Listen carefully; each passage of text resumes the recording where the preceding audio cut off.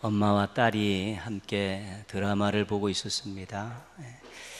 근데 여자 주인공이 뭐 직장에서 해고되고 또 실현당하는 그런 아픔을 겪었습니다. 너무 괴로워서 예, 술을 먹다가 취해서 이제 잠이 들었습니다.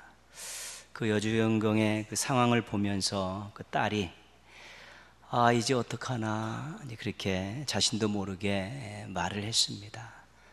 그랬더니 옆에서 그 소리를 들은 엄마가 어떡하긴 뭘 어떻게 콩나물국 끓여줘야지 그렇게 이야기했다고 합니다.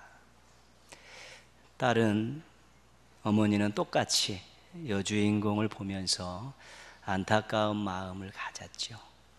그런데 딸은 그 여주인공의 미래를 생각하면서 안타까워했고 엄마는 그 여주인공의 쓰린 속을 생각하면서 그렇게 걱정을 한 것입니다. 어떤 생각을 하느냐가 어떤 행동이 나오는 데 있어서 굉장히 중요합니다. 그래서 엄마는 늘 그렇게 챙겨줘 버릇하고 그 자녀들이나 가족들이 그 아파하는 부분들을 먼저 보셨기 때문에 그 드라마를 보면서도 그 아픈 속을 생각하고 콩나물국을 끓여야겠다는 생각을 한 것이지요. 예, 그래서 생각이 머릿속에만 머무는 것보다는 그것이 예, 삶 속으로 그대로 행동으로 표현되어질 때 아름다운 일들이 많이 일어나는 것입니다. 작은 실천이라도 할 때 생각이 힘이 되고 행동이 예, 변화를 일으키는 것입니다. 다른 사람의 어려움을 안타깝게 생각하는 마음을 성경에서는 극률이라고 이야기합니다. 그리고 다른 사람의 어려움을 돕는 것을 성경에서는 인자다 그렇게 표현을 합니다. 극률과 인자는 하나님께서 택하시는 백성을 대하시는 변함없는 모습입니다. 그 택하신 백성들을 늘 불쌍히 여기시고 그 손을 내밀어서 그들을 돕는 것이 우리 하나님의 모습이고요. 이 인자, 극률과 인자는 예수님께서 공생의 기간 동안에 만나는 사람들을 대하셨던 그런 모습입니다. 늘 민망히 여기시고 불쌍히 여기시고 그들의 필요를 채우기 위해서 애쓰셨던 그런 모습들이죠. 그래서 이 극률과 인자는 이 생각과 마음과 이 행동이 하나로 이렇게 나타나는 것이지요. 우리 주님께서는 늘 생각하신 바가 마음에 품은 바가 행동으로 늘 나타나셨기 때문에 생각과 행동, 말과 행동이 항상 일치하는 그런 모습을 가지고 우리들에게 다가오신 것입니다. 근데 이 극률과 인자가 넘치는 하나님께서 이스라엘을 심판하셨습니다. 네. 이건 엄청난 사건이죠. 하나님의 속성에 비추어 볼 때 뭐 상상할 수 없는 일입니다. 이유는 약속을 깨뜨렸기 때문에 그렇습니다. 언약을 맺었는데 그들이 백성들이 언약을 깨고 하나님 아닌 다른 신들을 함께 섬겼습니다. 그리고 하나님의 말씀에 불순종하고 욕심에 이끌려서 교만한 마음으로 그렇게 살았습니다. 하나님께서 계속해서 예언자들을 보내시면서 기회를 주시고 돌아오라고 촉구하시고 끊임없이 참고 참으셨는데 결국은 그 마지막까지 오도록 그들이 고집을 꺾지 않았기에 하나님께서 회초리를 들으신 것입니다. 이 심판은 엄청난 결과를 초래했습니다. 나라가 망했습니다. 성전이 무너졌습니다. 땅에서 쫓겨나서 이방 땅에 가서 포로 생활했습니다.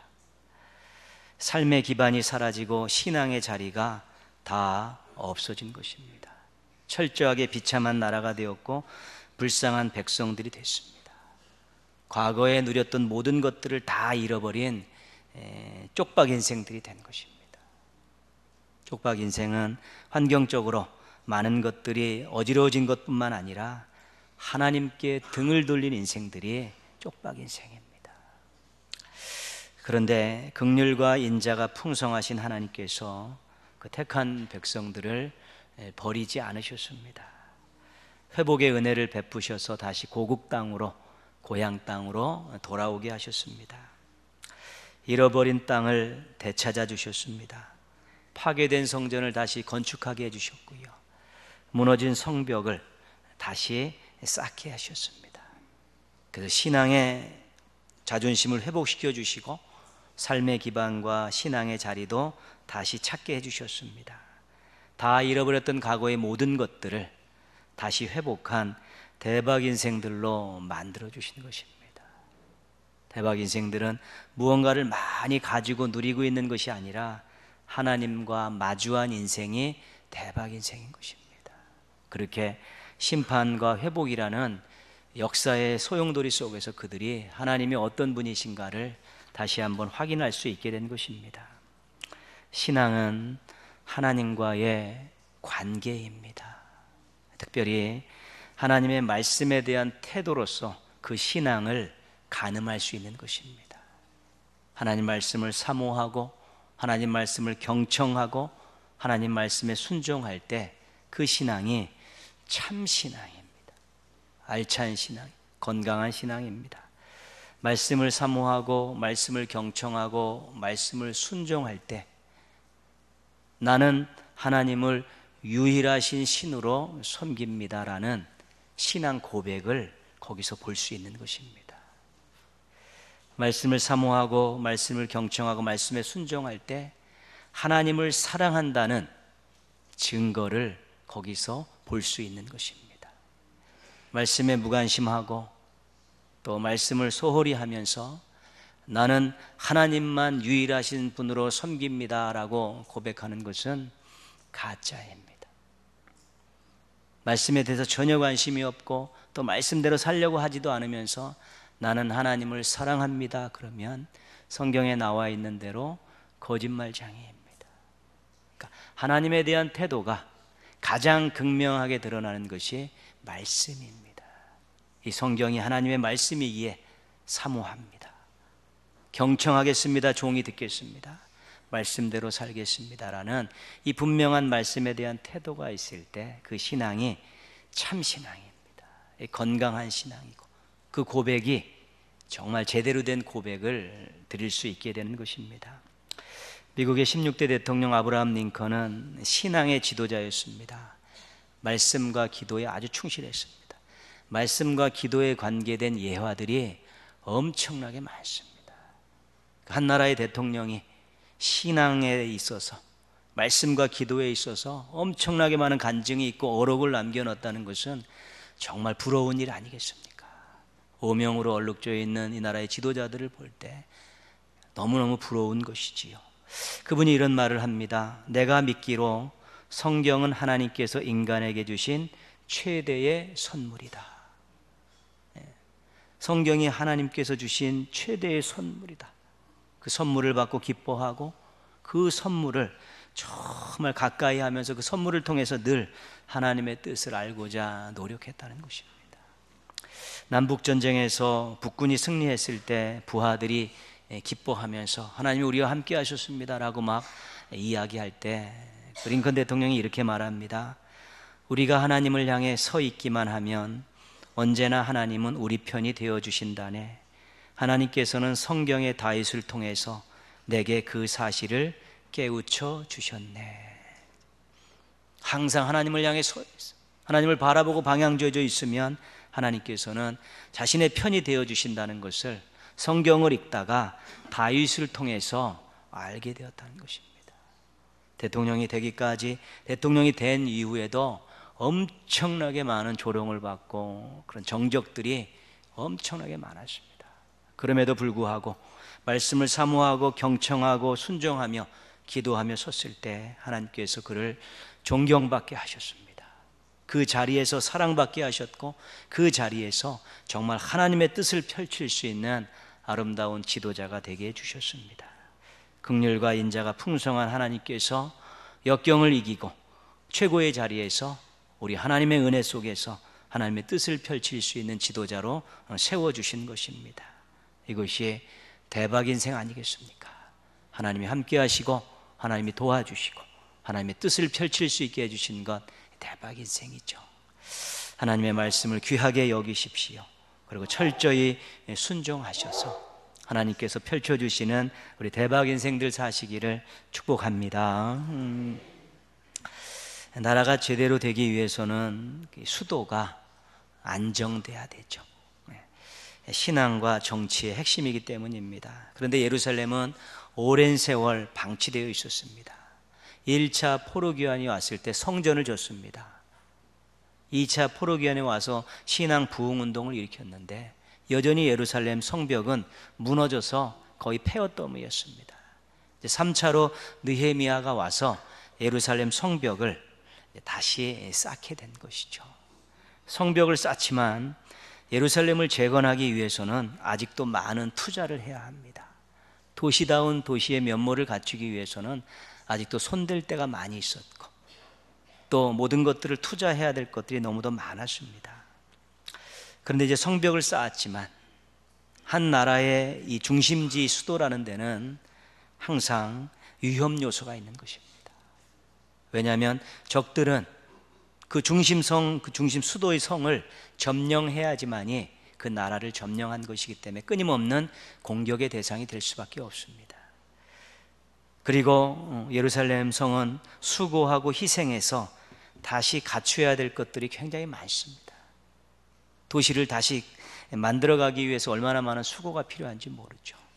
당연히 모든 재반 사항들이 안정이 안 돼 있으니까 굉장히 불편할 수밖에 것입니다.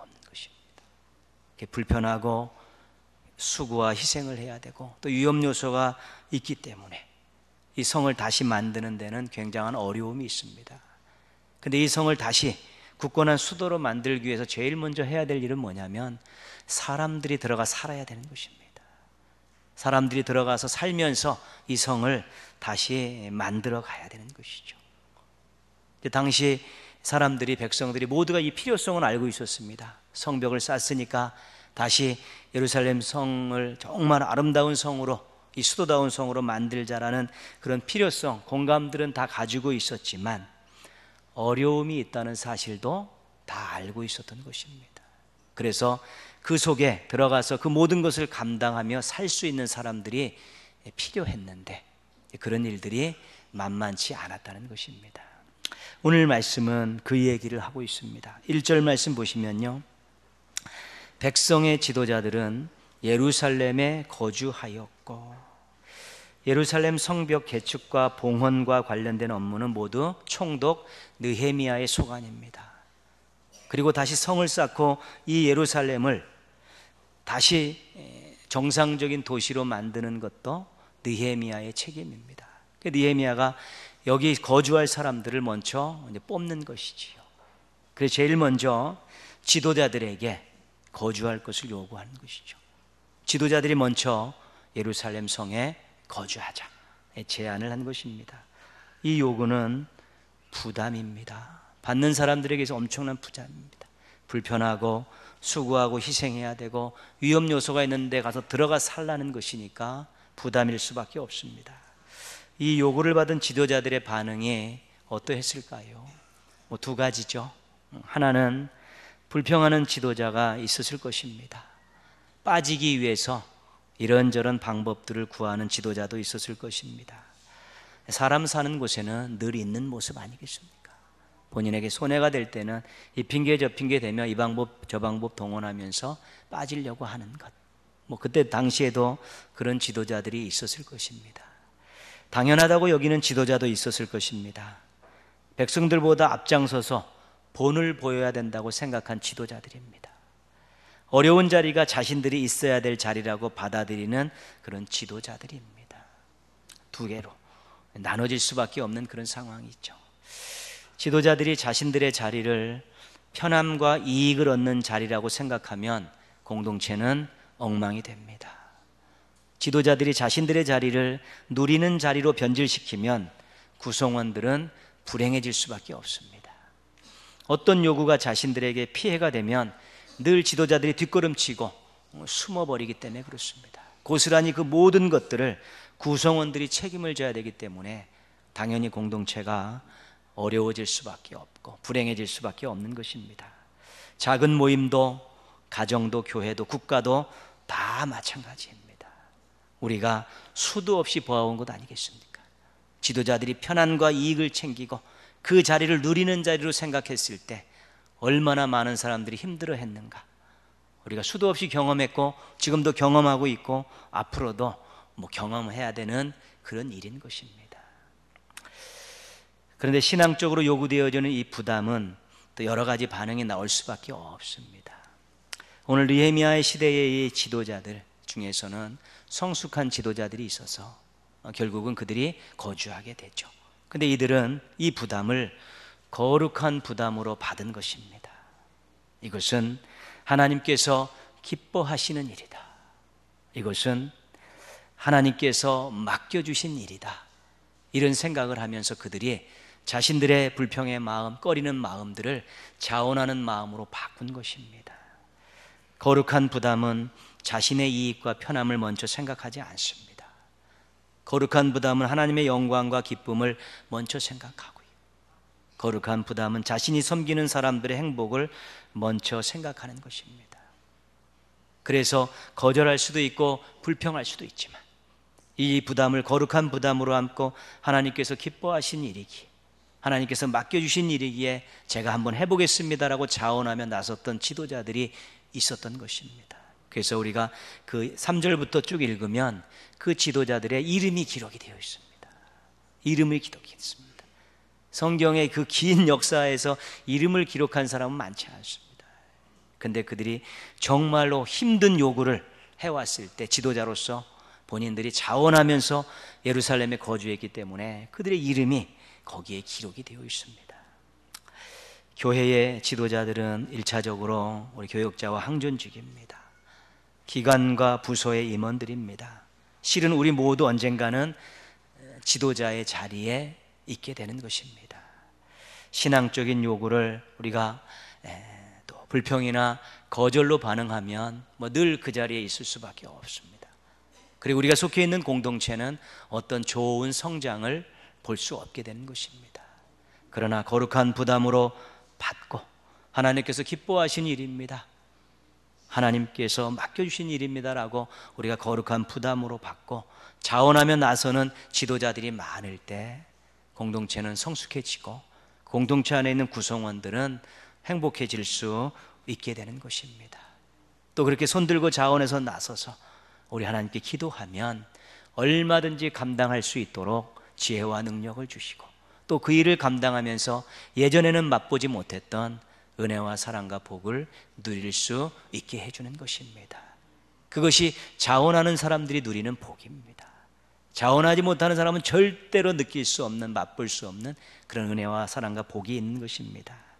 지도 자리, 지도자의 자리에서 요구되는 일들을 거룩한 부담으로 받고 멋지게 감당하는 종들 되시기를 주님의 이름으로 축원합니다. 1절 음, 뒷부분 보시면요. 그 남은 백성은 제비 뽑아 10분의 1은 거룩한 성 예루살렘에서 거주하게 하고 그 10분의 9는 다른 성읍에 거주하게 하였으며 그렇죠? 전체 백성들 중 제비를 뽑았습니다. 그래서 사람의 11조 10분의 1을 의무적으로 예루살렘에 거주하게 한 것이죠. 강제성을 띈 것입니다. 뽑힌 백성들의 반응이 어떠했을까요? 네, 원참 재수가 없을래니 뭐 그렇게 반응한 사람도 있었겠고요. 남들은 안 하는데 왜 내가 해야 되느냐고 또 불평한 사람도 있었을 것입니다. 이런 백성들은 또 이 핑계 저 핑계 대며 다른 방법을 동원해서 또 빠져나가려고 어떤 또 일들을 간구했을 것입니다. 어쩔 수 없이 남아 있지만 불편한 마음을 품고 있는 백성들도 있었을 것입니다. 이 백성들이 예, 결국은 예, 예루살렘에게 거주하게 되죠. 뒤에 지도자들의 명단과 더불어서 백성들의 명수가 기록이 되어 있습니다. 그들 너무 많아서 이름은 기록하지 못하지만 명수를 기록한 것이죠. 이들은 이 참으로 불편하고 수고와 희생을 해야 되고 위험한 이곳에 거주하라는 이 부담을 거룩한 부담으로 받아들인 것입니다. 하나님이 나에게 기회를 주셨습니다. 하나님이 나를 필요로 하십니다. 이런 마음을 가지고 즐겁게 자원한 것입니다. 네. 그래서 지도자들도 또 백성들의 10분의 1도 결국은 처음에는 부담이 있었지만 그것을 거룩한 부담으로 받으면서 그들이 자원하고 즐거운 마음으로 예루살렘 성에 거주하게 된 것입니다. 신앙은 운을 따지고 요행을 바라지 않습니다. 그건 신앙이 아닙니다. 신앙은 하나님의 주권과 하나님의 섭리를 믿고 사는 것입니다. 우리 삶의 주변에서 그 어떤 것도 하나님과 연관되지 않은 것은 없습니다. 하나님의 주권이 다 미치게 되어 있는 것입니다. 그런데 좀 자신에게 안 좋은 일이 있습니다. 재수가 없어서, 운이 없어서, 뭐 그렇게 말을 내뱉을 수도 있고요. 또 일이 잘 돼도 재수가 좋아서, 또 운이 좋아서, 또 그렇게 이야기하며 감사하지 못하는 그런 일들도 있다는 것입니다. 운에 따라 재수에 따라서 자신들의 인생을 바라보면 그렇게 살 수밖에 없습니다. 그러나 하나님의 주권과 하나님의 섭리를 바라보면서 지금의 어려움이 있는데 하나님께서 이거를 통해서 나를 망하게 하려는 것이 아니라 이것을 통한 또 새로운 하나님의 계획이 있다는 것들을 바라보게 될 때 인내하며 기도하며 기다릴 줄 아는 것이고 어떤 형통한 일이 있을 때 정말 하나님께서 나를 내게 이렇게 복을 주셔서 나로 하여금 하나님의 새로운 일들을 하게 하셨다라고 감사하며 새로운 마음을 품는 것은 하나님의 주권과 섭리에 따라 사는 사람만이 할 수 있는 감사하고 결단이라는 것입니다. 우리가 요셉을 보지 않습니까? 다니엘을 보지 않습니까? 사도 바울을 보지 않습니까? 그들이 정말 어려운 이 얼마나 많이 생명을 잃어버릴 정도의 엄청난 고난의 역사가 있었지만 그들은 결국 그것이 하나님의 주권과 하나님의 섭리를 인정하면서 기도하며 그 자리를 성실히 지켰을 때 하나님께서 그들을 높여 주셨고 사용하여 주셨고 존경받게 하셨습니다. 그것을 성경에서는 형통이다 그렇게 말하는 것입니다. 자, 승승장구해서 계속 잘 나가는 게 형통이 아니라 어렵고 힘들어도 그것을 하나님의 주권과 섭리를 믿고 기다리면서 하나님께서 새롭게 해주시고 아름답게 만들어질 미래를 바라보고 또 그런 일들이 일어났을 때 그것을 형통이라고 말하는 것입니다. 그 요셉이 형통한 사람이라고 창세기는 그렇게 소개하고 있는 것입니다. 삶의 자리에서 재수 타령 운 타령 하지 말고 또 거룩한 부담을 갖고 하나님의 섭리에 순종하는 우리 신실한 종들로 살아가시기를 부탁드리겠습니다. 2절 말씀 같이 한번 읽겠습니다. 2절입니다. 예루살렘에 거주하기를 자원하는 모든 자를 위하여 백성들이 복을 빌었느니라. 아멘. 거룩한 부담을 가진 지도자들이 자원하는 마음을 가지고 예루살렘 성에 거주합니다. 또 제비 뽑아 뽑힌 그런 백성들도 거룩한 부담을 가지고 또 자원하면서 또 예루살렘 성에 거주하게 됩니다. 우리가 또 한 가지 생각할 수 있는 것은 자기가 거기 가지 않아도 됩니다. 지도자도 아니고 제비에 뽑히지도 않았습니다. 그럼에도 불구하고 아마 손들고 자원했던 사람들이 한 명은 있지 않았겠습니까? 분명히 있었을 것입니다. 자원하는 사람들을 위해서 예루살렘의 거주자가 확정이 됐습니다. 그 모습을 바라보며 백성들이요, 휴, 살았다. 뭐, 그렇게 하지 않았다는 것입니다. 우리를 대신해서, 우리를 대표해서 그 불편함과 수고와 위험을 감수하고 저 안에서 성을 제대로 만들기 위해 거주하는 그 사람들을 위해서 축복했다는 것입니다. 네, 축복했다는 것이죠. 네.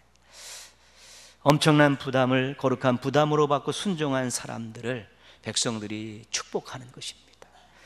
왜 그렇습니까? 너무 아름다웠기 때문에, 너무 사랑스러웠기 때문에, 너무 존경스러웠기 때문에 그들이 축복하면서, 그들을 축복하면서 그냥 놔두겠습니까? 기도했겠죠. 또 어려움이 있으면 도와줬겠고요. 나중에 부상자가 생긴다든가 결혼이 생겼을 때 아마 또 들어가서 충원하는 사람들이 준비된 사람들이 있었을 것입니다. 결국은 한 마음 한 뜻이 된 것입니다. 순종하고 헌신하는 사람들은 축복해야 합니다. 복받아 마땅한 사람들이기 때문입니다. 제일 악한 것이 순종하고 헌신하는 일꾼들을 회방하는 것입니다. 복받아 마땅한 사람들을 비난하고 해방하는 것은 하나님이 기뻐하시지 않습니다. 나무에 올려놓고 흔드는 것 같은 그런 일들은 절대로 하지 말아야 됩니다. 그것은 우리 신앙인들이 해야 될 일들이 아니고 우리 일꾼들이 해야 될 일이 아닙니다. 나를 대신해서 우리를 대신해서 더 어렵고 힘든 일을 수고하고 애쓰고 있는데 그 축복해주고 중보해주고 격려해줘야 되는데 그런 부분들을 바라보면서 이런저런 예우를 대가면서 비난하고 흔드는 것은 절대로 신앙적인 마음이 아니기 때문에 교회 안에서는 있어서는 안 되는 것입니다. 세상은 그렇습니다. 지금 보면 잘했건 잘못했건 무조건 흔들고 보지 않습니까? 그런 세상의 행태가 교회가 수용해서는 안 되는 것입니다. 잘하면 잘하고 대신해서 열심히 하면 격려해 주고 그래서 마음으로 하나 되어서 아름다운 역사를 같이 이루어 가게 될 때 그 공동체가 하나님이 사용하시는 공동체가 되어질 수 있게 되는 것입니다. 일꾼들에 있어서 능력이 중요합니다. 그러나 두 번째입니다. 첫 번째는 믿음입니다. 믿음을 가지고 능력을 사용해야 되고요. 그 다음에 전체적으로는 하나 되어야 되는 것입니다. 하나 되어서 그 능력을 모아갈 때 놀라운 일들이 일어나는 것입니다. 믿음 없이 능력을 앞세우면 교만해지고요. 사랑으로 하나됨 없이 능력을 앞세우다 보면 나중에는 갈기갈기 찢어지게 되는 것입니다. 능력을 가진 사람들은 믿음으로 능력을 잘 발휘하고 공동체는 사랑으로 하나가 되어서 그 능력들을 서로 격려하게 될 때 열매가 두 가지가 있습니다. 하나는 보이는 열매입니다. 근데 그것은 그렇게 중요하지 않습니다. 보이지 않는 열매가 뭐냐면 개인적으로 믿음이 뜨거워집니다. 공동체는 사랑으로 하나 되어지고요. 그래서 성숙함을 이루는 그일 하나 하는 것 때문에 믿음으로 하고 사랑함으로 해서 그 일을 하나 하는 것 때문에 한 마음 돼서 했기 때문에 개인적으로나 공동체가 아주 성숙해지는 놀라운 열매를 맺게 되는 것입니다. 실은 그 열매가 더 중요한 것입니다. 그 행사를 통해 이루어지는 어떤 일을 통해 이루어지는 그 열매는 그렇게 크지 않습니다. 그거는 작아도 됩니다. 그러나 그것을 이루는 과정에서 믿음으로 능력을 발휘하고 사랑으로 능력을 격려하면서 함께 할 때 속해 있던 모든 사람들의 마음에 믿음이 뜨거워지고 서로 사랑으로 충만한 공동체를 만들면서 행복한 신앙의 길을 걸어갈 수 있게 되는 것입니다. 거룩한 부담을 안고 자원하는 성도들이 되었으면 좋겠습니다. 거룩한 부담을 안고 자원하는 일꾼들을 축복하는 성도들이 되었으면 좋겠습니다. 그래야 우리가 하나 될 수 있는 것입니다. 다윗에게 신앙 교훈을 받습니다. 시편 16편 7절입니다. 나를 훈계하신 여호와를 송축할지라 밤마다 내 양심이 나를 교훈하도다. 그죠? 훈계라는 말은 뭐 격려 그런 것도 있지만 해초리도 들어가 있는 것입니다. 하나님의 말씀을 가지고 그가 늘 위로도 받고 격려도 얻지만 때로는 회초리도 맞는다는 것입니다. 아, 내가 이런 일들, 이런 생각을 갖고 살았고, 이런 모습들로 살았구나. 그런 것 때문에 그가 밤에 막 양심이 찔려가지고 견딜 수 없어서 눈물로 기도하고 금식하며 기도하면서 자신을 말씀으로 훈계하시고 인도하신 하나님께 찬양을 올린다고 고백하고 있는 것입니다. 이런 영적 민감성이 있기에 다윗은 모든 자기에게 요구되어지는 부담을 거룩한 부담으로 받고 순종하고 충성했던 것입니다. 물론 바세바 사건이 있지만 바세바 사건은 다윗의 인생에 있어서 본인이 정말로 그 자리를 섬김의 자리가 아니라 누리는 자리로 생각하면서 한 번 저질렀던 큰 과오입니다.